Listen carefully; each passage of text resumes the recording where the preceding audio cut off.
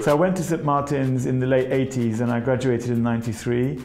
Uh, and then since then, I never planned it, but I've been doing my own collections that evolved over time. I was showing in London Fashion Week uh, for about seven years and I started to show in Paris.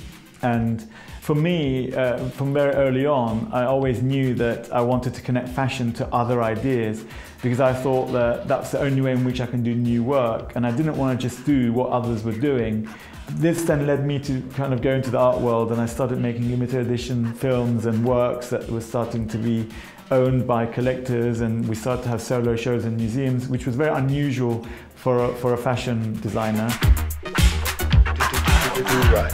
Actually, ironically enough, uh, when Sadler's Wells first opened, uh, we actually had two shows there. So that would have been about 15 years ago or so.